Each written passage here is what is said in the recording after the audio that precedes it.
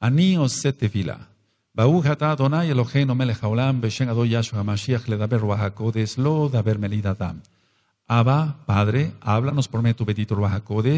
No queremos oír palabras de hombre, queremos oír tu preciosa voz. Beshen Gadol, en el nombre grande de Yahshua HaMashiach Todagabá, muchas gracias. Omen, Beomen. Shebe Bakashahim, su servidor quien le habla, doctor Javier Palacio Celorio, Roe de la Quejilá, Gozo y Paz, en Tehuacán, Puebla, México. Le invitamos a visitar nuestras páginas en internet en español www.gozoypaz.mx, www.sinjatorah.org y en inglés está la página www.yacoswell.net. El canal de YouTube Shalom 132, usted puede copiar todo el material, es absolutamente gratis. Usted lo puede bajar, entonces así copiar y regalar. Recuerde, nosotros aquí no hacemos negocio con la palabra de nuestro Elohim. Vamos a iniciar el libro de Ruth, el estudio del libro de Ruth desde la perspectiva hebrea.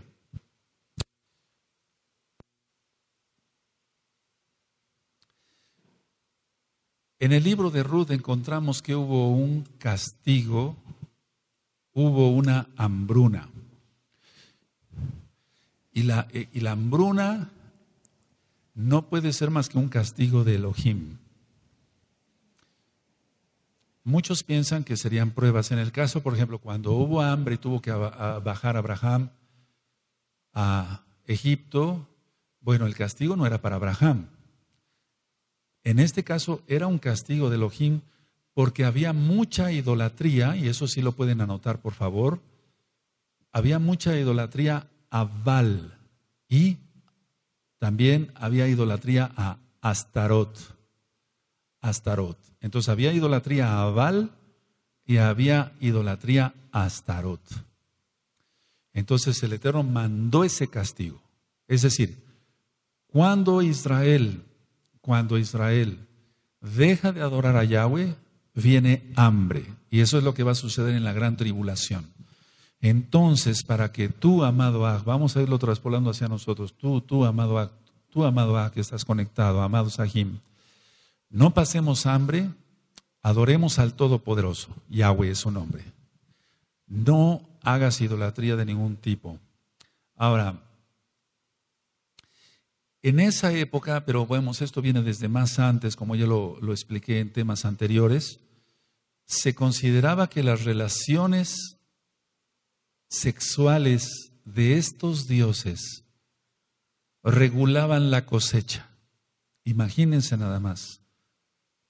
Esperando que el esperma de un falso dios, Yahshua HaMashiach reprenda todo eso, podía hacer que hubiera más cosecha. Entonces consideraban ellos que las relaciones sexuales entre estos dioses regulaban la cosecha. Por eso el Eterno les mandó ese castigo. Ahora, ¿Puedo continuar? Ustedes me dicen un amén. Ahora, este es un libro que fue escrito, pero no tanto escrito, sino que concuerda en la época de los jueces. No es tanto que sea, fue un poquito después escrito, pero concuerda muy bien que fue en la misma época de los jueces. Y cuando Gedeón estaba al frente, cuando Gedeón estaba al frente. Quiero que por favor vayamos a jueces, vamos allá, a jueces, antes de entrar a Ruth. Jueces 2, 11. ¿Y pueden anotar la cita? ¿Quieren que les dé todas las citas de jueces mejor primero? Jueces 2, 11. Jueces 3, 7. Jueces 8, 33. Jueces 10, 6. Ya no pongas jueces, nada más los capítulos, lógico, y los versos. Jueces 2, 11. ¿Lo tienen? Sí. 2, 11. Omena. Después los hijos de Israel hicieron lo malo ante los ojos de Yahweh y sirvieron a los Baales. Entonces, por eso vino esa hambruna. Por eso vino esa hambruna en la época de Ruth. Vamos, para que se entienda. Vamos al 3, 7. 3, 7. Cuando lo tengan me dicen un amén. Sí, por favor. Hicieron pues los hijos de Israel lo malo ante los ojos de Yahweh, y olvidaron a Yahweh su Elohim, y sirvieron a los Baales y a las imágenes de acera. Ahora, mucha atención, por favor. Ha habido muchos nuevos hermanos en Yahshua HaMashiach que quieren, no que duden, sino que quieren una explicación del por qué no a las imágenes. Porque ayer yo platicaba con un, un buen acto de esta congregación, el, el- el católico dice, bueno, ya ven cómo no, no que no se pueden hacer imágenes, no el arca de la alianza tenía imágenes, no en el templo de Salomón. Entonces, vamos a ver todo eso dentro de poquito en uno de los atributos de nuestro Elohim. ¿Qué es eso? ¿Qué es? Voy a hablar sobre las imágenes, entonces estén muy pendientes, desde luego tú de no faltar acá y amados Sahim, porque hay, hay cosas que no se han entendido bien a pesar del tiempo que llevamos de mesiánicos. Entonces vamos a entenderle más claramente a qué se refiere todo eso. ¿De acuerdo? Aquí estaban haciendo imágenes de acera. Vamos al 8.33, por favor, en jueces 8.33, amados Sahim. Cuando lo tengan me dicen un omen. Omen. Pero aconteció que cuando murió Gedeón, los hijos de Israel volvieron a prostituirse, yendo tras los Baales, y escogieron por Dios a Baal Berit. Ahora, un poquito antes de que muriera Gedeón ya había cierta idolatría, pero una vez que muere, no, eso se volvió una locura. Vamos por favor a jueces 10, verso 6. Omen. Cuando tenga, perdón, cuando lo tenga me dicen un omen. Omenaj. Pero los hijos de Israel volvieron a hacer lo malo ante los ojos de Yahweh. Sirvieron a los Baales y a Astarot, a los dioses de Siria, a los dioses de Sidón, a los dioses de Moab, a los dioses de los hijos de Amón y a los dioses de los filisteos, y dejaron a Yahweh y no le sirvieron. A ver, todos el 6 porque es muy importante, omen.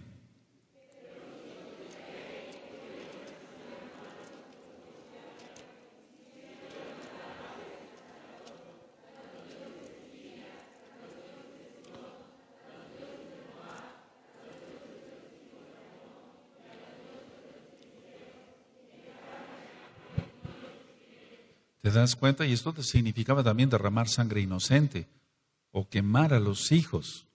En Deuteronomio 18, verso 10 en adelante dice, no pasarás a tu hijo o a tu hija por el fuego. ¿Se dan cuenta cuánta abominación había? Por eso vino la hambruna. ¿Qué es lo que sucede en la gran tribulación?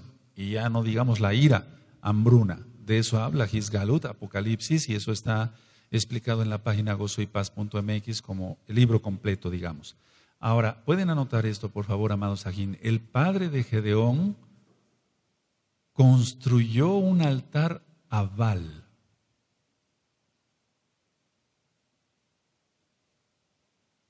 Para que veamos hasta dónde había llegado la idolatría. El padre de Gedeón construyó un altar a Baal.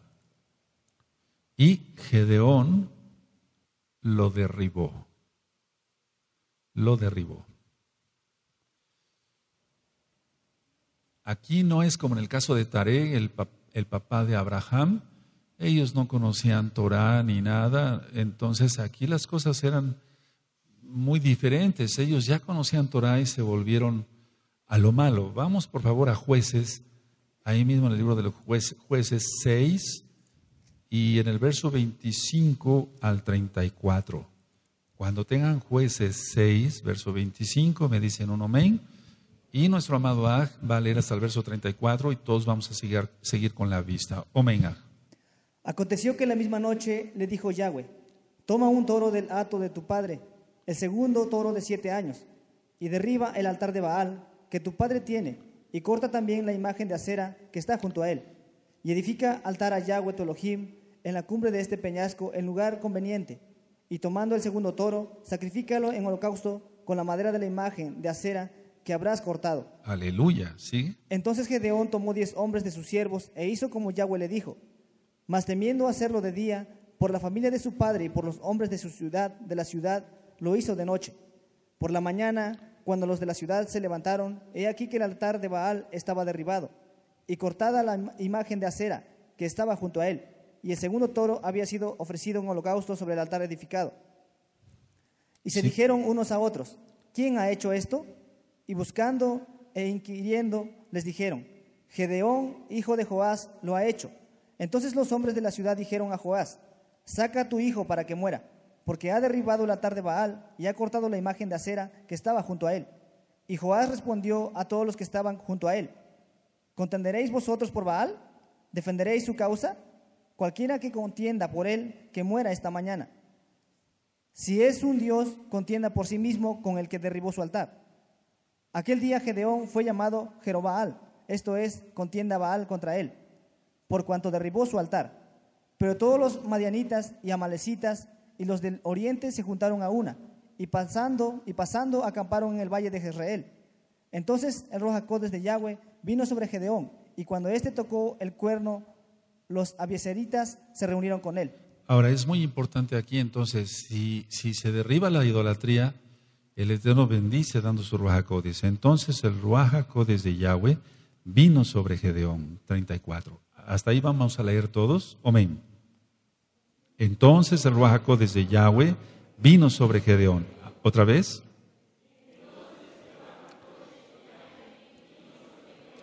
Ahora, hay gente que es cobarde y entonces nunca va a recibir del Ruajacodes porque es cobarde eh, cavila entre dos dioses, por así decirlo, no, se decide, pues.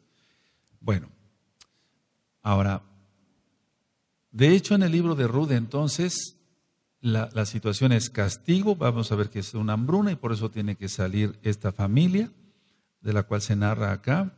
Pueden poner Bait Lehem, casa de pan, no Belén, Bait Lehem, Bait, que es casa, Lehem, Bait Lehem, está a 8 kilómetros de Jerusalén, a 8 kilómetros de Jerusalén.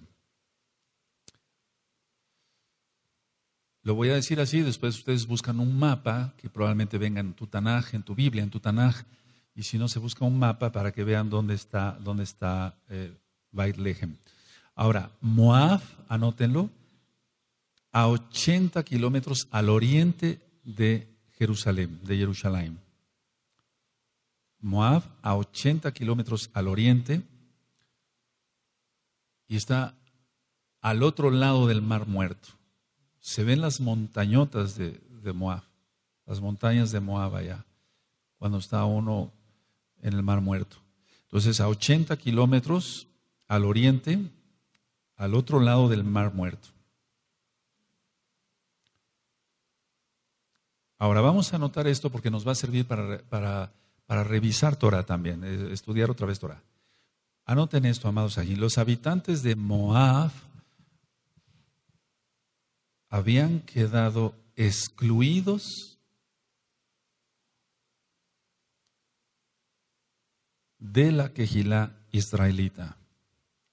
Los habitantes de Moab habían quedado excluidos en ese tiempo de la Kehilá del Adón, Yahweh, es decir, de la Kehilá israelita como tal. Vamos por favor a Deuteronomio capítulo 23. Vamos para allá.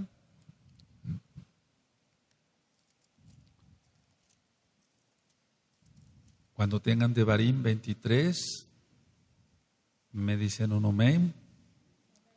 23, del 3 al 6. Amén. No entrará amonita ni moabita en la quejilá de Yahweh, ni hasta la décima generación de ellos.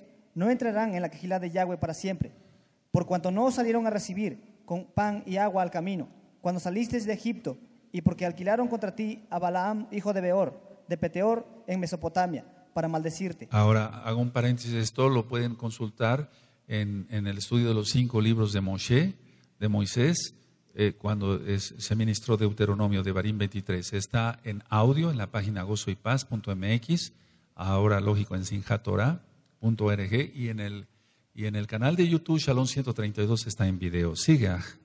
Mas no quiso Yahweh tu Elohim oír a Balaam, y Yahweh tu Elohim te convirtió la maldición en bendición, porque Yahweh tu Elohim te amaba. Aleluya. No procurarás la paz de ellos, ni su bien en todos los días para siempre. Ahora, entonces, por eso sabemos que fueron excluidos de la quejila israelita. Pueden ponerle punto y aparte. Ellos, o sea, los moabitas, adoraban a Quemos.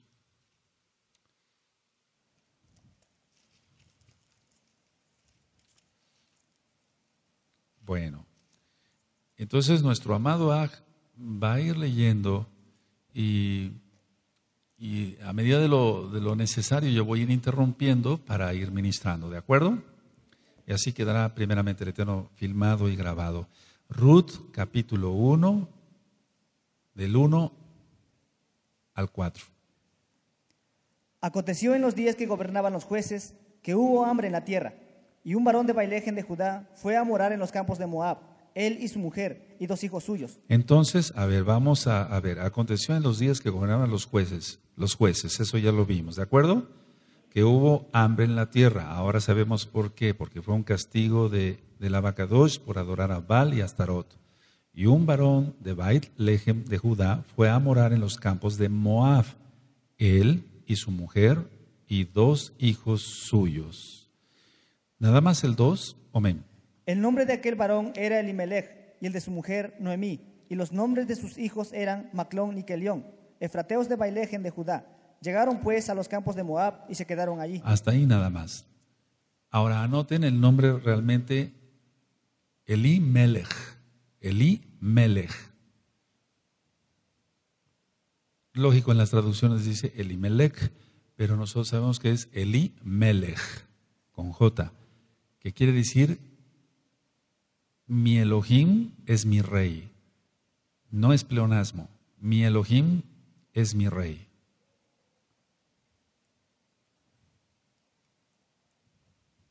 Es que en hebreo no es lo mismo como en español. Decimos, bueno, diríamos pues lógico, Elohim es mi rey, sí, pero mi Elohim es mi rey. ¿De acuerdo?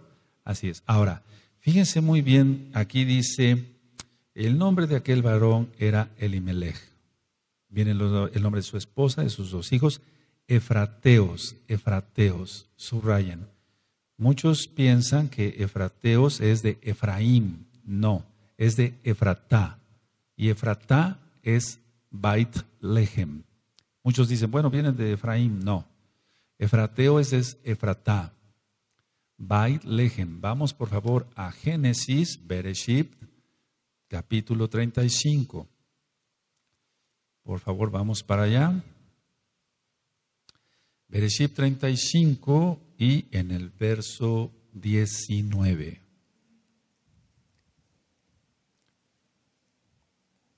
¿Lo tienen?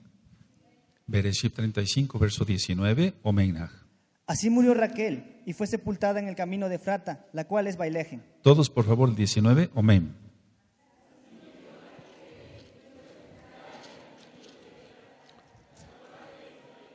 Ahora vamos otra vez al libro de Ruth. Vamos para allá.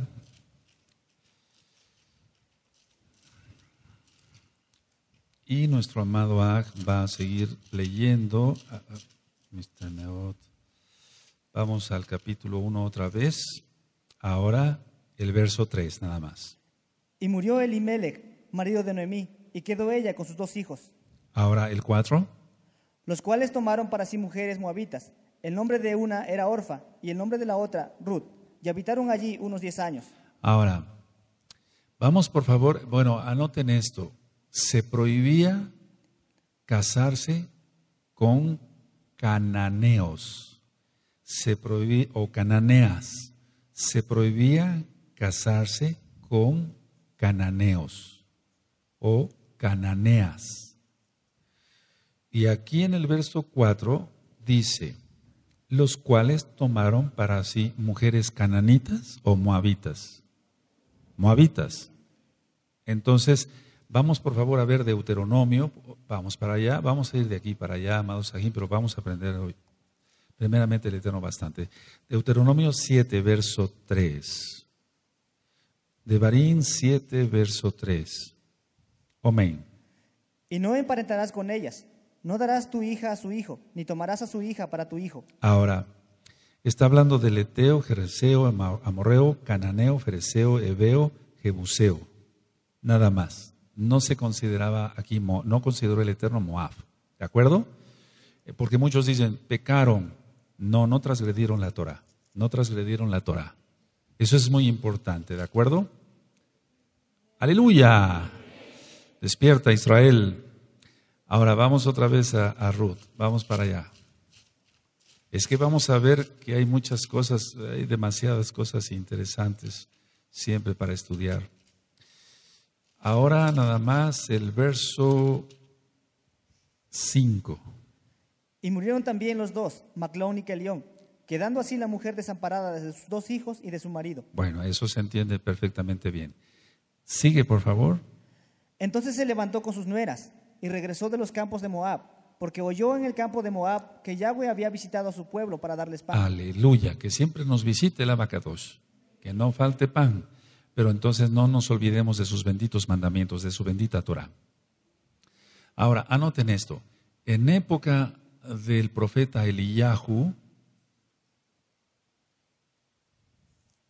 en época del profeta Eliyahu, hubo un castigo también por adorar a Baal. Hubo un castigo, pero eso lo vamos a entender mejor cuando hablemos de los reyes de Israel, de los reyes de Judá. Entonces, en época del profeta Eliyahu hubo un castigo por adorar a Baal, una sequía. Vamos por favor a Primera de Reyes, vamos para allá, Primera de Reyes. Vamos a Primera de Reyes 16.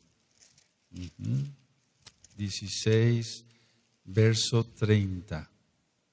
Primera de Reyes 16, verso 30. Omenaj. Y reinó Acab, hijo de Omri, sobre Israel en Samaria 22 años. Y Acab hijo de Omri, hizo lo malo ante los ojos de Yahweh, más que todos los que reinaron antes de él. Ahora el 17.1.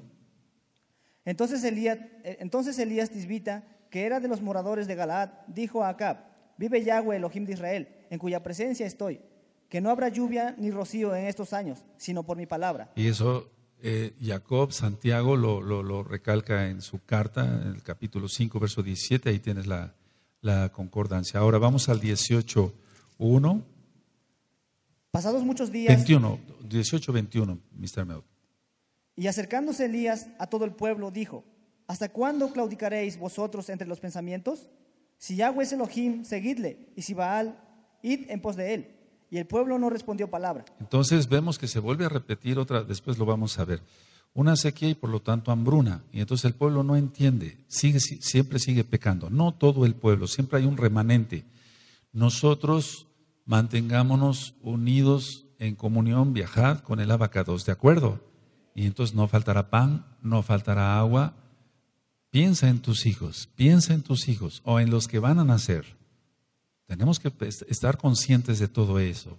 Hay gente que no tiene que hacer y se pone a pecar, es el colmo. En estos tiempos estamos viendo que todo apesta pecado, alimentos con, con fetos humanos para endulcorar, etcétera, edulcorar es el colmo lo que está pasando en el mundo y, la gente todavía pensando en pecar. Qué terrible. Ahora, vamos a analizar esto, pero me gustaría que lo, que lo, que lo anotaran, por favor. Analicemos. La época de los jueces es una de las más obscuras de Israel.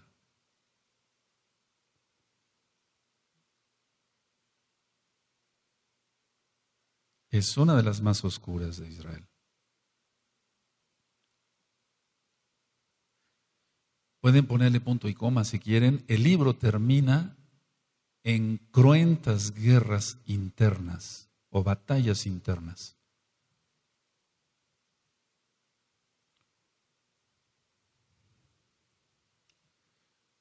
Después, si el Eterno lo permite, veremos el libro de jueces. Ahora, lo que me llama la atención entonces en el libro de jueces es que sí termina con cruentas batallas, guerras internas, pero pongan esto, amados, en sus apuntes. Sin embargo, Elohim actúa siempre en un remanente. Aleluya. Siempre Elohim actúa en un remanente.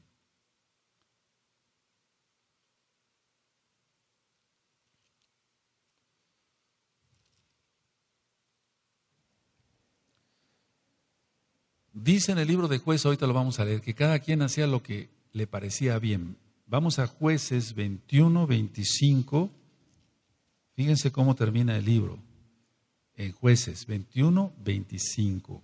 A En estos días no había rey en Israel. Cada uno hacía lo que bien le parecía. Entonces ya queda claro que la, hambruna, la sequía que hubo en, los días del profeta Eliyahu no tiene nada que ver con la que hubo en la época de Ruth. ¿Queda claro? ¿Sí? Ahora, Vamos por favor a Bereshit, a Génesis, vamos para allá, amados Sahim, en el capítulo 19. En el capítulo 19 vamos a leer del verso 30 al verso 38 para que recordemos de dónde salen los moabitas. Bereshit, eso ya lo vimos en las parashot, en los cinco libros de Moshe. Génesis 19, verso 30 en adelante. Amén. Pero Lot subió de Zoar y moró en el monte, y sus dos hijas con él, porque tuvo miedo de quedarse en Zoar, y habitó en una cueva él y sus dos hijas. Entonces la mayor dijo a la menor, Nuestro padre es viejo, y no queda varón en la tierra que entre a nosotras, que entre a nosotras, conforme a la costumbre de toda la tierra. Ven, demos a beber vino a nuestro padre, y durmamos con él, y conservaremos de nuestro padre descendencia. Y dieron a beber vino a su padre aquella noche, y entró la mayor, y durmió con su padre. Mas él no sintió cuando se acostó ella, ni cuando se levantó. El día siguiente dijo la mayor a la menor, He aquí, yo dormí la noche pasada con mi padre. Démosle a beber vino también esta noche, y entra y duerme con él, para que conservemos de nuestro padre descendencia. Y dieron a beber vino a su padre también aquella noche, y se levantó la menor y durmió con él. Pero él no echó de ver cuando se acostó ella, ni cuando se levantó. Y las dos hijas de Lot concibieron de su padre, y dio a luz la mayor un hijo, y llamó su nombre Moab. Ahí está, ¿de dónde vienen? ¿Sí? El cual es padre de los moabitas hasta hoy. La menor también dio a luz un hijo, y llamó su nombre Ben-Ammi, el cual es padre de los amonitas hasta hoy. Ahora, vemos que esto es reprobable ante, los ojos del Eterno. Después en, en, mm, Baikra 18 están los pecados de los cananitas y no te acercarás, no te, no te, eh, eh, no te, no te harás pareja con tu pariente próximo, pues. Sin embargo, el Eterno tiene rajem, no por esto eh, ahora se diga, bueno, pues Elohim, Dios los perdonó y entonces no hay ningún problema. No, cuidado, mucho cuidado, porque estamos viendo cosas catastróficas entre gente que se casa con la pariente cercana, no descubrirás su desnudez. Es tu padre o es tu madre o es eh, eh, tu pariente próxima. Entonces, aquí el Eterno tuvo, tuvo rajem, amplió su rajem. Aquí lo correcto, lógico, que Lot y sus hijas hubieran ido en busca de Abraham, ¿o no? Eso era lo correcto, ¿no? Pero bueno, desgraciadamente el hombre peca. Entonces, aquí vemos Moab, y vemos a, los amonitas. Ahora, ¿qué pasa con Ruth? Vamos otra vez al libro de Ruth. En el caso de, de, Ruth, lo que sucede es que rompe, rompe totalmente con la idolatría. Anótenlo, por favor. Ruth rompe con la idolatría.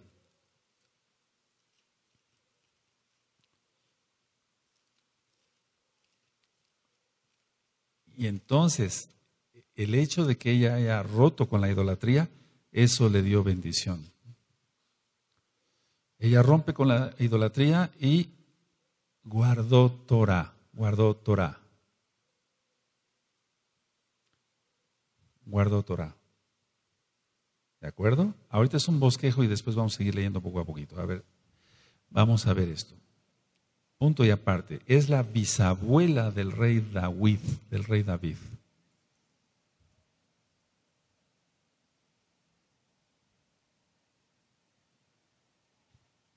Pero veamos por qué tuvo ese privilegio. Rompió con la idolatría, guarda Torah y entonces tuvo bendición.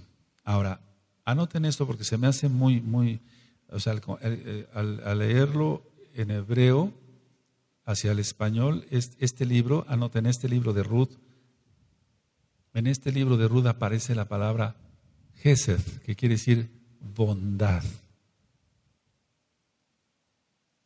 Gesed. Aparece más que en, otro, en otros libros de la Tanaj.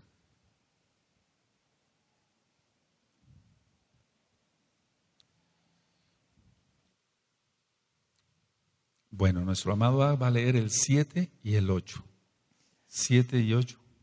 Salió pues del lugar donde había estado, y con ella sus dos nueras, y comenzaron a caminar para volverse a la tierra de Judá. Ahora, la primera, la primera eh, palabra de Gesed aparece en el 1.8. Anótenlo en sus apuntes, 1.8. Y ahorita nuestro amado Bach le va a dar lectura y nosotros seguimos con la vista. Homenaje. Y Noemí dijo, y Noemí dijo a sus dos nueras, andad, volveos cada una a la casa de su madre. Yahweh haga con vosotras compasión, como la habéis hecho con los muertos y conmigo. Ahí está, compasión, mal traducido como misericordia, compasión, bondad, Gesed. Subrayen ahí, en su, en su Tanaj. Ahora aparece otra vez la palabra bondad, y ahorita vamos a ir después leyendo poco a poquito, en el capítulo 2 y en el verso 20. 2.20 y en el 3.10. 2.20 y 3.10. Anótenlo primero y ahorita lo leemos. Amén. Amén. Y dijo No- Noemí a su nuera, sea él bendito de Yahweh, pues que no ha rehusado a los vivos la benevolencia que tuvo para con los que han muerto. Después le dijo Noemí, nuestro pariente es aquel varón, y uno de los que pueden redimirnos. Entonces, benevolencia no aparece como benevolencia, sino como bondad. Gesed, por segunda vez. Vamos al 3.10. Amén. Y él dijo, bendita seas tú de Yahweh, hija mía, has hecho mejor tu postrera bondad que la primera, no yendo en busca de los jóvenes, sean pobres o ricos. Ahí aparece otra vez bondad. Entonces es algo y busca uno más y aparece más bondad, bondad, bondad, bondad. Entonces es un bonito libro porque habla de bondad, de gesed, de compasión. Ahora, algo que me llama la atención, nos llama la atención en el libro de Ruth es que Elohim no olvida a su pueblo. Anótenlo, por favor. No olvida a su pueblo Elohim. Elohim no olvida a su pueblo. Cuando terminen de escribir me dicen un amén. Ahora, Elohim no, eh, eh, Elohim, como no olvida a su pueblo, Elohim provee a su pueblo. Anoten, provee a su pueblo. Entonces no tenemos por qué tener miedo de la tribulación, amados, si vivimos en Kedusha. Elohim provee a su pueblo. Pero hay que guardarse bien en, en Kedusha, en santidad, ¿de acuerdo? Así que vamos a verlo con los tiempos que estamos viviendo y hay tanta maldad. ¿Qué es lo que nos, nos toca a nosotros? ¿Cómo podemos eh, aplicar para nuestra vida el libro de Ruth? Ahora, anoten esto. Nosotros en nuestras labores cotidianas, es decir, nuestro trabajo secular, en, nuestras labores cotidianas, debemos acordarnos de Elohim todo el tiempo.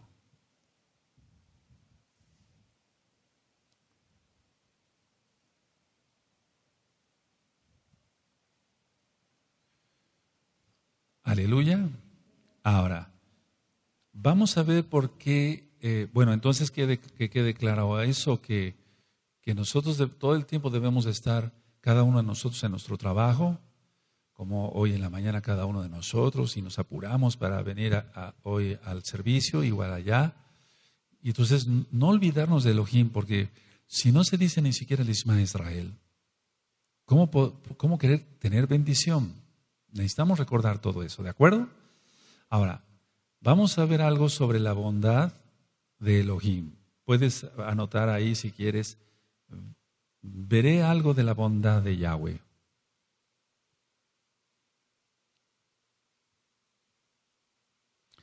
Y vamos para Mateo, Matillahu. Vamos para allá, amados Sahim, por favor. En Matillahu, en el capítulo 1. Y vamos a ver que el Eterno es Rajem sobre Rajem, sobre gracia, sobre gracia, sobre gracia. Aleluya. Él es bueno, Él es muy bueno, pero no por eso pecar y cansar su paciencia. Cuidado. En la genealogía de Mashiach aparecen cuatro mujeres, anótenlo, no israelitas. Esto es muy importante, esto es de mucho peso lo que vamos a aprender ahora, porque esto contrapone uno de los mandamientos rabínicos más fuertes que hay en casa de Judá donde dicen, eh, una persona es judía si la mamá es judía. ¿Quién ha oído eso? Y si es el papá, no. O sea, tiene que ser la mamá. Pero vamos a ver aquí en la genealogía de Mashiach, Yahshua, aparecen cuatro mujeres, ¿qué? No israelitas. Uno, Tamar. Ese está en Mateo, Matillahu 1, 3. Por favor, ah, le, dale lectura. Judá engendró de Tamar a Fares y a Sara, Fares a Esrom y Esrom a Aram. Entonces Tamar era cananea. Anótenlo.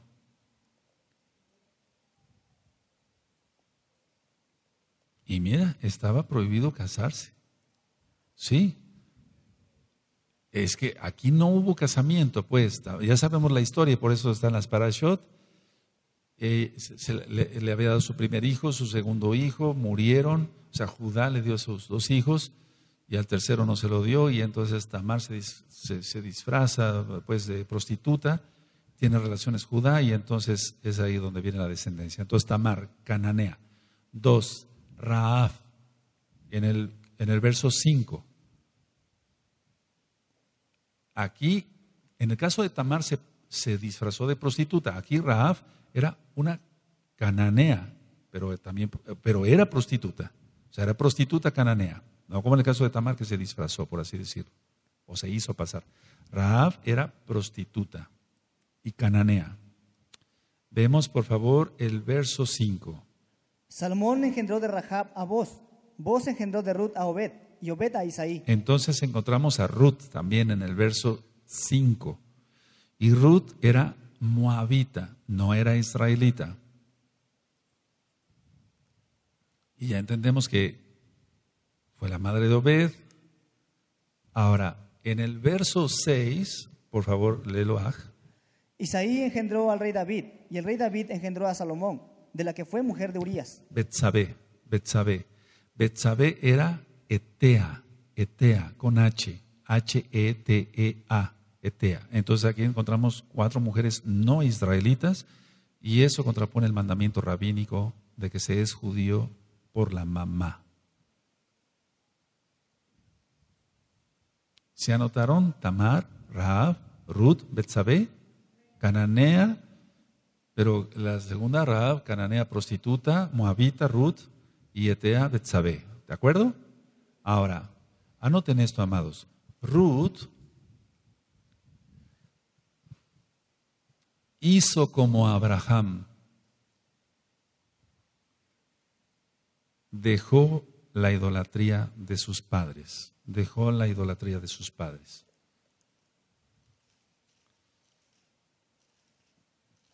Y vamos al libro de números.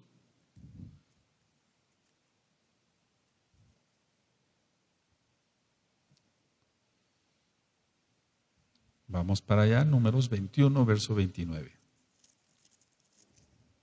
Entonces eh, deseamos que ellos adoraban a Quemos. El libro de números no lo voy a ministrar ahora, ya está en las páginas de internet de Gozo y Paz.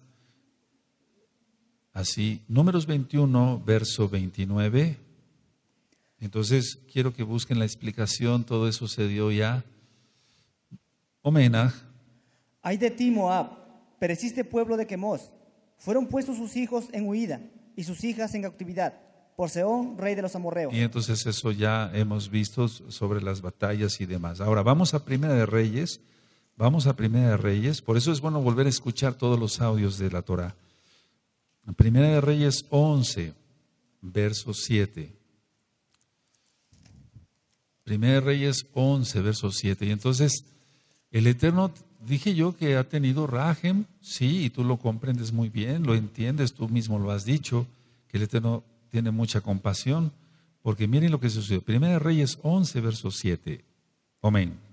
Entonces edificó Salomón un lugar alto a Quemos, ídolo abominable de Moab en el monte que está enfrente de Jerusalén, y Moloch y Amoloch, ídolo abominable de los hijos de Amón. Tremendo, aquí a los dos. Entonces, por eso vino el rompimiento del reino de Israel y tú entiendes muy bien entonces por qué eh, se dio el tema de las dos casas de Israel. Está en video en el canal de YouTube, Shalom 132, está en español en gozoypaz.mx, ahora en sinjatora.org, está en inglés en jacoswell.net. Las dos casas de Israel. Ahora, en el caso de Ruth, vamos otra vez para el libro de Ruth, amados, y quiero que anoten esto antes de, de ir hacia allá. La conversión de Ruth fue total. Anoten eso, fue total. Por eso el Eterno tuvo rajem de ella. Su conversión fue total. No como muchos en el mundo que se dicen mesiánicos y siguen pecando. No, no, no. Fue total. Vamos a seguir leyendo entonces del 9 en adelante. Eh, Ruth 1, verso 9 en adelante. Amén. Os conceda Yahweh que hayáis descanso cada una en casa de su marido. Luego las besó y ellas alzaron su voz y lloraron. Y le dijeron, ciertamente nosotras iremos contigo a tu pueblo. Y Noemí respondió, volveos, hijas mías. ¿Para qué habéis de ir conmigo? ¿Tengo yo más hijos en el vientre que puedan ser vuestros maridos? Volveos, hijas mías, e idos. Porque yo ya soy vieja para tener marido. Y aunque dijese, esperanza tengo, y esta noche estuviese con marido, y aún diese a luz hijos, ¿Habíais de vosotros de esperarlos hasta que fuesen grandes? ¿Habíais de quedaros sin casar por amor a ellos? No, hijas mías. ¿Qué mayor amargura tengo yo que vosotras? Pues la mano de Yahweh ha salido contra mí. Veamos el cariño con que les habla a sus nueras. Eso es una excepción. Aprende. Sigue. Y ellas alzaron otra vez su voz y lloraron. Y Orfa besó a su suegra, mas Ruth se quedó con ella. Mas Ruth se quedó con ella. A ver todos. Ahora sigue, por favor. Y Noemí dijo, He aquí tu cuñada se ha vuelto a su pueblo y a sus dioses. Vuélvete tú tras ella. Respondió Ruth, No me ruegues que te deje y me aparte de ti, porque a donde quiera que tú fueres iré yo, y a donde quiera que vivieres viviré. Tu pueblo será mi pueblo y tu Elohim mi Elohim. Aleluya, la mejor decisión que tomó. Tu pueblo será mi pueblo y tu Elohim mi Elohim. A ver todos. Tu pueblo. 17. Donde tú murieres, moriré yo, y ahí seré sepultada. Así me haga Yahweh. Y ahí está el nombre del Eterno. Perdón que interrumpa. Ahí está el nombre del Eterno. Así me haga Yahweh. Y aún me añada. ¿Sigue? Que solo la muerte hará separación entre nosotras dos. Tremendo. Ya tenía una conversión, ya tenía una disposición de seguir a la vaca dos. Sigue, por favor. Y viendo Noemí que estaba tan resuelta a ir con ella, no dijo más. Noemí significa dulzura o agradable. Noemí significa dulzura o agradable. Eso significa el nombre Noemí. Anótenlo, amados, para que vayamos aprendiendo más.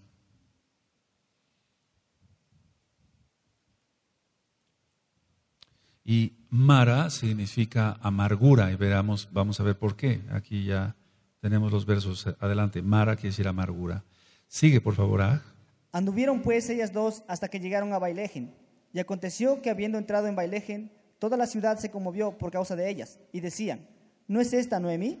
Y ella les respondía, no me llaméis Noemí, sino llamadme Mara, porque en grande amargura me ha puesto el Todopoderoso. Entonces ya vimos por qué. Sigue. Ah. Yo me fui llena, pero Yahweh me ha vuelto con las manos vacías. ¿Por qué me llamaréis Noemí, ya que Yahweh ha dado testimonio contra mí y el Todopoderoso me ha afligido? Así volvió Noemí y Ruth la Moabita, su nuera con ella. Volvió de los campos de Moab y llegaron a Bailejen al comienzo de la siega de la cebada. Aleluya. Ahora vamos a Baikra, por favor, a Levítico 19. Vamos para allá. Levítico 19, verso 9.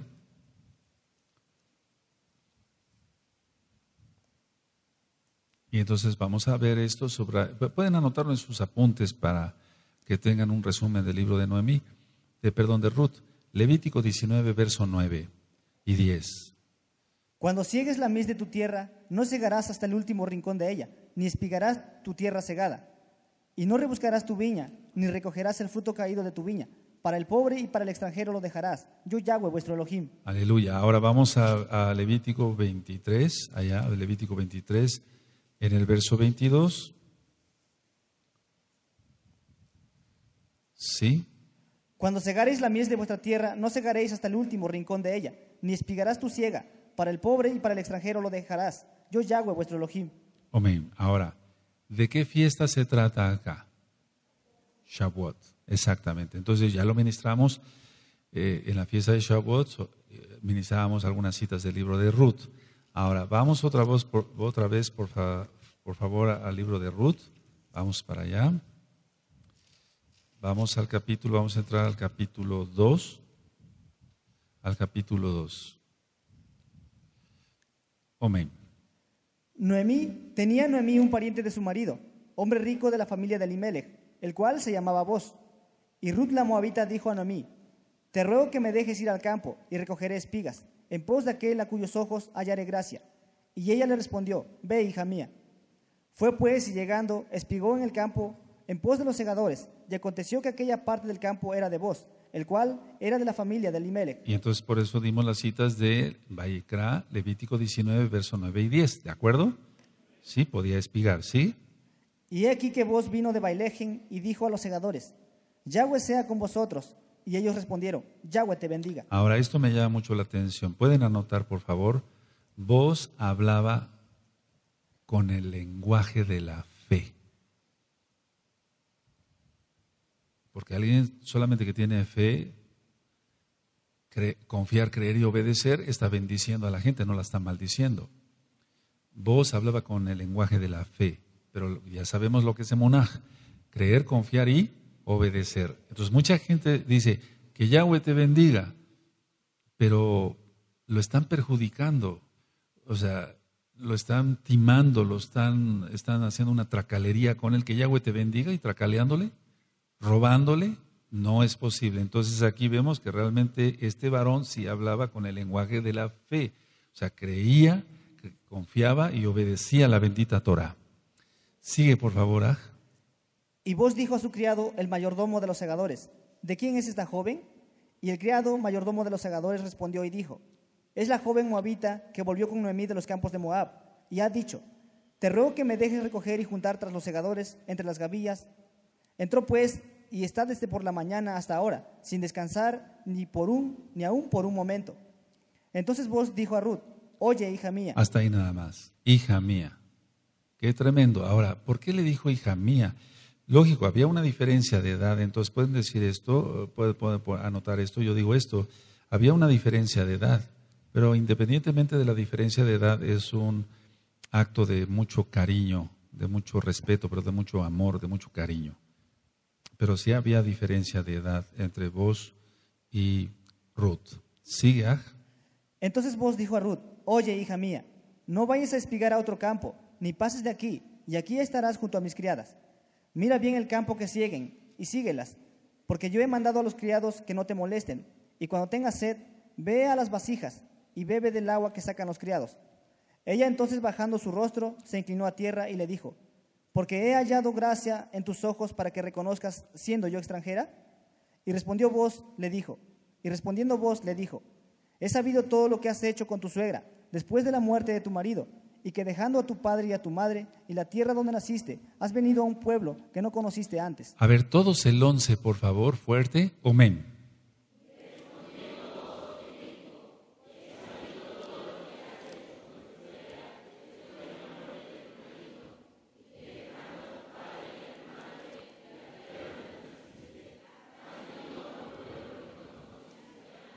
Ahora, el Eterno no es deudor de nadie, ¿sí? Él no es deudor de nadie, Él, siempre cumple sus promesas, to- todo, todo lo cumple, dice. Y respondiendo vos le dijo, he sabido todo lo que has hecho con tu suegra después de la muerte de tu marido. ¿Qué había hecho? Solamente bendecir a Noemí, bendecir. Entonces vamos por favor a Bereshit, al 12.1, y ustedes ya saben entonces de qué se trata. Vamos para allá, Bereshit 12. Sería el 12, 3. 12, verso 3. ¿Lo tienen? Homenaje. Bendeciré a los que te bendijeren, y a los que te maldijeren maldeciré, y serán benditas en ti todas las familias de la tierra. Entonces Ruth bendijo a su suegra, ¿sí? Y entonces Ruth fue bendecida por Yahweh. Bendito es el abacados. Se sigue cumpliendo eso. Miren, muchos han pensado, inclusive de, la iglesia cristiana, dicen, no, eso ya no es para los israelitas de hoy. Nosotros podemos hacer, hacer, hacer lo que queremos con ellos y no pasa nada. Eso nada más fue una promesa para Abraham, después para Isaac y después para Jacob, pero ahí terminó. No, aquí vemos esto. Es muy importante eso. Entonces, aquel que se mete con un hijo de Israel, con alguien que sea descendencia de Israel, o bien que no sea descendencia de Israel, pero guarda Torah, cuidado, porque se vuelve uno con Israel. Y entonces se meten problemas con el abacados, aquel que ataca a Israel. Somos como la niña de sus ojos. Aleluya. Nosotros nos mantendremos en santidad, no es decir, no me toquen, no me toquen, soy ungido, no me toquen, no me toquen, soy soy un descendiente de Israel, te vas a maldecir. No, pero hay que guardar la santidad. Hay que dar testimonio, está claro eso, ¿verdad? Bueno, a ver, vamos otra vez al libro de Ruth, por favor. Entonces, si tú bendices a Israel, porque tú eres Israel, vas a ser aún más bendecido de lo que ya fuiste. Bendito es el abacados. Sigue, por favor, el 12. Yahweh recompense tu obra y tu remuneración sea cumplida de parte de Yahweh, Elohim de Israel bajo cuyas alas has venido a refugiarte. Ahí está ya. O sea que está la explicación perfectamente del 12.3 de Bereshit. Ahora, vamos por favor, aquí está hablando, dice, Yahweh recompense tu obra y tu, remuneración, perdón, sea cumplida de parte de Yahweh, Elohim de Israel, bajo cuyas alas, el talid de Yahshua, has venido a refugiarte. Vamos al Salmo 91.4, ustedes ya saben de qué se trata, pero hay nueve citos, por favor. Vamos al Salmo 91, verso 4. Entonces Ruth fue muy inteligente. Vino al abrigo del Elohim de Israel, el Todopoderoso. Salmo 91, verso 4. ¿Lo tienen? Homenaje. Con sus plumas te cubrirá y debajo de su talit estarás seguro. Escudo y adarga es su verdad. Todos, por favor, amén.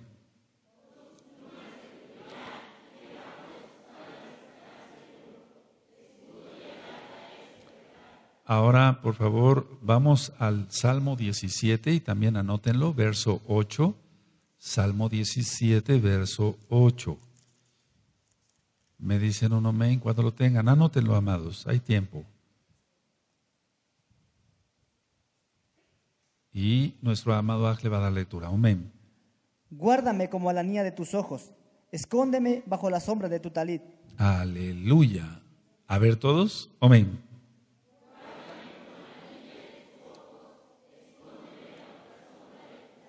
De eso, de hecho, Yahshua HaMashiach dijo, Jerusalén, Jerusalén, quise protegerte como la gallina protege a sus polluelos. ¿Es así? Entonces, bendito es el abacados. Entonces, Yahshua es Elohim. Es decir, que todo, todo por donde quiera que veamos, es, no podía decir, yo te voy a guardar, o sea, un hombre, ¿cómo debe decir eso para Jerusalén? Yo soy un hombre y yo te voy a guardar bajo mis alas pero solamente si es Elohim. ¿O no? ¿Sí o no? Aleluya. Ahora, en el caso, vamos otra vez al libro de Ruth.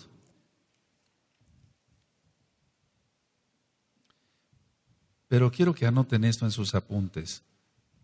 Vos sería utilizado por Elohim Vos sería utilizado por Elohim para dar respuesta a su propia tefila, a su propia oración. Vos sería utilizado por Elohim para dar respuesta a su propia tefila. ¿Sí? ¿Cuál tefila? 12. Verso 12 es Ruth 2.12. Averaj Yahweh recompense tu obra y tu remuneración sea cumplida de parte de Yahweh, Elohim de Israel, bajo cuyas alas has venido a refugiarte. Entonces, Yahweh utilizó a vos para cumplir esta oración de él mismo, de vos. ¿Sí? ¿Sí? Bendito es el abacados. Ahora vamos del 13 al 16. Y ella dijo, Señor mío, halle yo gracia delante de tus ojos, porque me has consolado y porque has hablado al corazón de tu sierva aunque no soy ni como una de tus criadas. Y vos le dijo a la hora de comer, ven aquí y come del pan, y moja tu bocado en el vinagre. Y ella se sentó junto a los segadores, y él le dio del potaje, y comió hasta que se sació y le sobró. Tenía buen corazón este varón, no cabe duda. Y dice, porque me has consolado en el verso 13. Entonces, aunque todavía la gente en aquel tiempo, los creyentes, no eran llenos del Wahakodes como ahora, pero alguien que seguía la Torah era guiado por el Wahakodes, servía como consolación para otros. ¿De acuerdo? Sí, Luego se levantó para espigar, y vos mandó a sus criados diciendo, que recoja también espigas entre las gavillas, y no la avergoncéis. Y dejaréis también caer para ella algo de los manojos. Aquí ya es mayor la bendición. Ya no era nada más espigar, manojos. Entonces, no solo era, ah, si gustan anotar, ya no solamente era espigar, sino manojos. Entonces ya llegó más braja. Aleluya. Es que eso lo vamos experimentando los creyentes, ¿o no? Eso lo vamos, lo vamos experimentando. El Eterno nos va bendiciendo, nos va bendiciendo en todo, en espíritu, en alma, en cuerpo. Nos vamos diciendo con shalom. Si estamos enfermos, nos sana, nos da más fuerza, nos da el dinero suficiente para el sustento de nuestra familia. Aleluya. A ver, otra vez el 15. Luego se levantó para espigar, y vos mandó a sus criados diciendo, que recoja también espigas entre las gavillas, y no la avergoncéis. No se metan con ella, aleluya. 16. Y dejaréis también caer para ella algo de los manojos, y lo dejaréis para que lo recoja, y no la reprendáis. Aleluya, entonces manojos ya, ¿de acuerdo? Siga. Espigó pues en el campo hasta la noche, y desgranó lo que había recogido, y fue como un efa de cebada. Efa, 22 litros. o igual a 13 kilos y medio de cebada. Tremendo. 13 kilos y medio. 22 litros en cuanto medida cúbica, digamos, pero en peso 13 kilos y medio de cebada. Ahora, vamos por favor a Devarín, vamos para allá, a Devarín, Deuteronomio 25. Deuteronomio 25, verso 5 al 10, para que podamos entender después lo que se va a explicar. Sigue, por favor. Ah. Deuteronomio 25, ¿lo tienen? Versos 5 al 10. Cuando hermanos habitaren juntos y muriere alguno de ellos y no tuviere hijo, la mujer del muerto se casará fuera con hombre extraño. La mujer del muerto no se casará fuera con hombre extraño. Su cuñado se llegará a ella y la tomará por su mujer y hará con ella parentesco y el primogénito que ella diere a luz sucederá el nombre de su hermano muerto, para que el nombre de éste no sea borrado de Israel. Y si el hombre no quisiere tomar a su cuñada, irá entonces su cuñada a la puerta a los ancianos y dirá, mi cuñado no quiere suscitar nombre en Israel a su hermano, no quiere emparentar conmigo. Entonces los ancianos de aquella ciudad lo harán venir y hablarán con él. Y si él se levantare y dijere, no quiero tomarla, se acercará entonces su cuñada a él delante de los ancianos y le quitará el calzado del pie y le escupirá en el rostro y hablará y dirá, así será hecho al varón que no quiere edificar la casa de su hermano. Y se le dará este nombre en Israel, la casa del descalzado. Ahora, eso lo vamos a ver, pero ya lo anotaron las citas, ya lo habíamos visto en Ruth, prácticamente en el capítulo 4, verso 10. Pero vamos a seguir entonces la lectura para, para que ya los hermanitos nuevos sepan de qué se trata y ahorita vamos explicando bueno, vamos por favor, te quedaste en el 2. 17. 17. Ahora vamos al 18. 18 en adelante, acto Y lo tomó y se fue a la ciudad. Y su suegra vio lo que había recogido. Sacó también lo, lo que le había sobrado después de haber quedado saciada y se lo dio. Y le dijo su suegra, ¿dónde has espigado hoy? ¿Y dónde has trabajado? Bendito sea el que te ha reconocido. Bendito, bendito, siempre bendiciendo. Aleluya. Y contó ella a su suegra con quien había trabajado y dijo, el nombre del varón con quien hoy he trabajado es vos. Y dijo Noemí a su nuera, sea él bendito de Yahweh. Bendito de Yahweh. ¿Sigue? Pues que no ha rehusado a los vivos la benevolencia que tuvo para con los que han muerto. Después le dijo Noemí, nuestro pariente es aquel varón, y uno de los que pueden redimirnos. A ver, esa parte. Después le dijo, Omen. Después le dijo Noemí, nuestro pariente es aquel varón y uno de los que pueden redimirnos. Tremendo, ¿no? Ya pensando en la braja, en la bendición, y está bien. ¿Sigue? Y Ruth la moabita dijo, además de esto me ha dicho, júntate con mis criadas hasta que hayan acabado toda mi siega. Y Noemí respondió a Ruth su nuera, mejor es hija mía que salgas con sus criadas y que no te encuentren en otro campo. Estuvo pues junto con las criadas de voz espigando hasta que se acabó la siega de la cebada y la del trigo, y vivía con su suegra. Tremendo. Ahora, vamos por favor a empezar el, el capítulo 3. Vamos para allá, el capítulo 3. Después le dijo su suegra Noemí, hija mía, ¿no he de buscar hogar para ti para que te vaya bien? ¿No es vos nuestro pariente con cuyas criadas tú has estado? He aquí que él envía esta noche la parva de las cebadas. He aquí que él avienta esta noche la parva de las cebadas. Te lavarás pues y te ungirás, y vistiendo tus vestidos irás a la era, mas no te darás a conocer al varón hasta que él haya acabado de comer y de beber. Y cuando él se acueste, notarás el lugar donde se acuesta, e irás, y descubrirás sus pies, y te acostarás allí, y él te dirá lo que hayas de hacer. Ahora, por favor, anoten esta explicación. La gente ignorante dice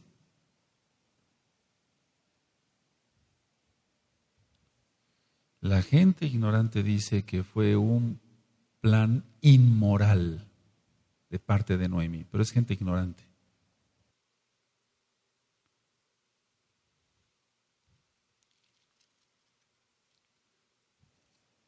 Nosotros sabemos que no fue así, que no es un plan inmoral, porque la gente habla sin saber, ¿no? una persona que tenga una religión X o Z, ¿qué va a entender de todo esto de la Torah? No, no va a entender nada. ¿De acuerdo? Pero tú sí, porque ya sabes Torah. Sigue, por favor, Aj. Y ella respondió, haré todo lo que tú me mandes. Descendió pues a la era e hizo todo lo que su suegra le había mandado. Y cuando vos hubo comido y bebido, y su corazón estuvo contento, se retiró a dormir a un lado del montón. Entonces ella vino calladamente y le descubrió los pies y se acostó. Y aconteció que a la medianoche se estremeció aquel hombre y se volvió. Y he aquí, una mujer estaba acostada a sus pies. Entonces él dijo, ¿quién eres? Y ella respondió, yo soy Ruth, tu sierva. Extiende el borde de tu manto sobre tu sierva, por cuanto eres pariente cercano. Y él dijo, bendita seas tú, Yahweh, bendito seas tú de Yahweh, hija mía Has hecho mejor tu postrera bondad que la primera. Ahí está la palabra bondad otra vez, Gesed. Que la primera, ¿sí? ¿Sigue? No yendo en busca de los jóvenes, sean pobres o ricos. Tremendo, ¿verdad? Ahora pues, no temas, hija mía. Yo haré contigo lo que tú digas, pues toda la gente de mi pueblo sabe que eres mujer virtuosa. Y ahora, aunque es cierto que yo soy pariente cercano, con, con todo eso hay pariente más cercano que yo. Pasa aquí la noche, y cuando sea de día, si Él te redimiere, bien, redímate. Mas si Él no te quisiera redimir, yo te redimiré. Vive Yahweh. Descansa pues hasta la mañana. Tremendo. Palabras de consolación, de bendición, etc. Sigue. Ah. Y después que durmió a sus pies hasta la mañana, se levantó antes que los hombres pudieran reconocerse unos a otros. Porque Él dijo, no se sepa que vino mujer a la era. No hicieron nada indebido no hicieron nada indebido. Entonces pueden poner en sus apuntes, Noemí confiaba en la, integridad de vos. Era un hombre kadosh. Noemí confiaba en la, integridad de vos, en, eh, en la Kedushá.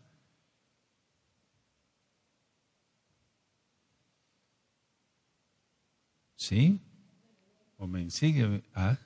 Después le dijo, quítate el manto que traes sobre ti y tenlo. Y teniéndolo ella, él midió seis medidas de cebada y se las puso encima. Y ella se fue a la ciudad. Ahora, permítame tantito ahí. Medida, la, pura medida es de 4.5 kilogramos. Fueron 6, 6 por 4. ¿Cuánto es? Pero punto 5, punto 5, punto 5, punto 5, 27 kilos. Anótelo. 27 kilos. Después le dijo, quítate el manto que traes sobre ti y tenlo. Y teniéndolo ella, él me dio seis medidas de cebada y se las puso encima, y ella se fue a la ciudad. Entonces, ¿Cuántos kilos cargó? 27. Ahora, sigue, por favor. Aj. Y cuando llegó a donde estaba su suegra, ésta le dijo, ¿qué hay, hija mía? Y le contó ella todo lo que con aquel varón le había acontecido. Y dijo, estas seis medidas de cebada me dio, diciéndome, a fin de que no vayas a tu suegra con las manos vacías. Entonces Noemí dijo, espérate, hija mía, hasta que sepas cómo se resuelve el asunto, porque aquel hombre no descansará hasta que concluya el asunto hoy. Aleluya. Aleluya. Así se debe de hacer. Ahora, esto indica que, que- Ruth era fuerte, anótenlo, porque lo vimos también cuando hablamos, en, en la- eh, cuando ministré sobre las parashot, sobre, sobre Rebeca, sobre Raquel. Era- eran mujeres muy fuertes. Entonces, aquí lógico se ponía sobre la cabeza, la costumbre era poner sobre la cabeza. Yo nada más analizo esto. Eran mujeres fuertes, trabajadoras. Aquí vos le puso 27 kilos sobre su cabeza, ¿sí? Y ahora se quieren casar y no saben cocinar. Se les quema el agua. Tremendo. O sea que, entonces, por favor, hermanas, las que no sepan cocinar, cocinar aprendan a cocinar. Ahora, vamos a, vamos a leer el, capítulo 4. Primeramente, el Eterno terminamos hoy. Amén. Vos subió a la puerta y se sentó allí. Y he aquí pasaba aquel pariente de quien vos había hablado, y le dijo, Eh fulano, ven acá y siéntate. Y él vino y se sentó. Entonces él tomó a diez varones de los ancianos de la ciudad, y dijo, Sentaos aquí. Y ellos se sentaron. Recuerda, no había rey, era la época de los jueces. ¿Sigue? Luego dijo al pariente, Noemí, que ha vuelto del campo de Moab, vende una parte de las tierras que tuvo nuestro hermano Elimelech. Y yo decidí hacértelo saber y decirte que la compres en presencia de los que están aquí sentados y de los ancianos de mi pueblo. Si tú quieres redimir, redime. Y si no quieres redimir, decláramelo para que yo lo sepa. Porque no hay otro quien redima sino tú y yo después de ti. Y él respondió, yo redimiré. Entonces replicó vos, el mismo día que compres las tierras de mano de Noemí, debes tomar también a Ruth la Moabita, mujer del difunto, para que restaures el nombre del muerto sobre su posesión. Y respondió el pariente, no puedo redimir para mí, no sea que dañe mi heredad, redime tú, usando de mi derecho, porque yo no podré redimir. Bueno, entonces está claro aquí, era la tierra, pero también la, la mujer, en este caso Ruth. Siga. Había ya desde hacía tiempo esta costumbre en Israel tocante a la redención y al contrato, que para la confirmación de cualquier negocio, el uno se quitaba el zapato y lo daba a su compañero, y eso servía de testimonio en Israel. Entonces el pariente dijo a vos, tómalo tú, y se quitó el zapato. Y vos dijo a los ancianos y a todo el pueblo, vosotros sois testigos hoy de que he adquirido de mano de Noemí todo lo que fue de Elimelech, y todo lo que fue de Kelión y de Maclón, Ahora vamos por favor a Deuteronomio, vamos a Deuteronomio, en el capítulo 1, vamos para allá, Deuteronomio 1, Levarín 1 y verso 36. 1.36. Cuando lo tengan me dicen un amén. Omenaj. excepto Caleb, hijo de Jefone. Él la verá, y a él le daré la tierra que pisó, y a sus hijos, porque han seguido fielmente a Yahweh. Aleluya. Entonces aquí vamos. Dice, excepto Caleb, hijo de Jerofé, él, él la verá y a él le daré la tierra que pisó, que pisó. Vamos a Deuteronomio 11, 11 verso 24, 11, 24. 11, 24. Tiene relación el 1.36, la explicación ahorita va. 11, 24. Cuando lo tengan me dicen un omei de, de, de Barín, Deuteronomio. ¿Sí? Omenaj. Todo lugar que pisare la planta de vuestro pie será vuestro, desde el desierto hasta el Líbano, desde el río Éufrates hasta el mar occidental, será vuestro territorio. Aleluya. Entonces, ¿qué simboliza esto? Anótelo. Simboliza, entre otras cosas, el derecho que tenía vos de caminar por la tierra que poseía.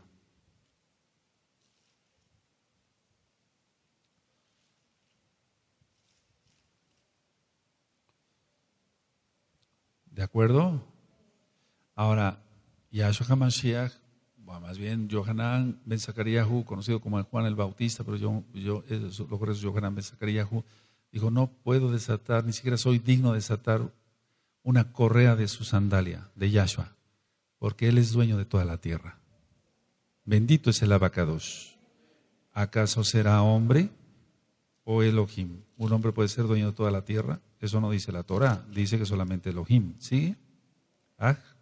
Y que también tomó por mi mujer a Ruth la Moabita, mujer de Maclón, para restaurar el nombre del difunto sobre su heredad, para que el nombre del muerto no se borre de entre sus hermanos y de la puerta de su lugar. Vosotros sois testigos hoy. Siempre hay que llamar testigos, lo marca la bendita Torah. Sigue. Ah. Y dijeron todos los del pueblo que estaban a la puerta con los ancianos, testigos somos. Yahweh haga a la mujer que entra en tu casa como a Raquel y a Lea, las cuales edificaron la casa de Israel, y tú seas ilustre en Efrata, y seas de renombre en Bailejen. Y sea tu casa como la casa de Fares, el que Tamar dio a luz a Judá, por la descendencia que de esa joven te dé Yahweh. Tremendo. Entonces estamos viendo ya aquí lo que en un inicio fuimos analizando. Ahora, en el 11, anoten, se menciona a Raquel, Rachel y Lea, Dice, y dijeron todos los del pueblo que estaba a la puerta con los ancianos testigos, somos Yahweh a la mujer que entra en tu casa como a Rachel y a Lea, las cuales edificaron la casa de Israel. Tremendo, la casa, ahí está la casa de Israel, ¿sí? Ahora, ¿por qué se menciona a Rachel por ser estéril en un inicio?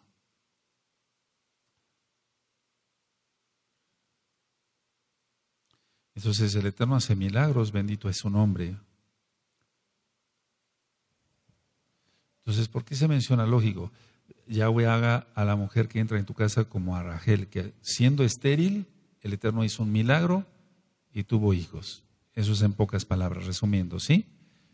Que, que haya bendición, que haya hijos. Seguimos orando por todas las amadas Agayot en todos lados que no han podido tener bebé para que tengan bebé. El Eterno les bendiga con un bebé. Siga. Vos pues tomó a Ruth y ella fue su mujer y se llegó a ella. Y Yahweh le dio que concibiese y diese a luz un hijo. Y las mujeres decían a Noemí, loado sea Yahweh, que hizo que no faltase hoy pariente, cuyo nombre será celebrado en Israel, el cual será, el cual será restaurador de tu alma y sustentará tu vejez, pues tu nuera que te ama lo ha dado a luz, y ella es de más valor para ti que siete hijos. Y tomando Noemí el hijo, lo puso en su regazo y fue su haya. Y le dieron nombre las vecinas, diciendo, le ha nacido un hijo a Noemí y lo llamaron Obed. Este es padre de Isaí, padre de David. Por lo tanto, bisabuela de David, Ruth, sigue. Estas son las generaciones de Fares. Fares engendró a Jezrón, Jezrón engendró a Aram, Iram engendró a Aminadab, Aminadab engendró a Nazón y Nazón engendró a Salmón. Salmón engendró a Boz y Boz engendró a Obed. Obed engendró a Isaí e Isaí engendró a David. Bendito es el abacados. Antes de decir Hazá, Hazá, Bení, Hazej, entendemos aquí varias, varias, aprendimos varias cosas. Uno, que el Eterno tiene bondad, tiene rajem para su pueblo. Que el Eterno no bendice a un pueblo idólatra. Eso nos queda bien claro. Entonces, por lo tanto, no pequemos en idolatría de cualquier tipo, solamente seguir al abacados. Y así como el Eterno es bondadoso, Él, bendito es su nombre, tenga rajem de todos en la gran tribulación. Entonces no hay por qué estar angustiados. Seguir a Yahweh, aquí y allá, allá y acá, pero en santidad total.